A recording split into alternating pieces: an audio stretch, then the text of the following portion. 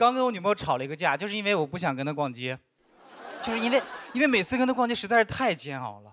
我觉得应该没有一个男生是喜欢逛街的，真的，因为我从来没有在任何一个商场里见到过一个男人真挚的笑容。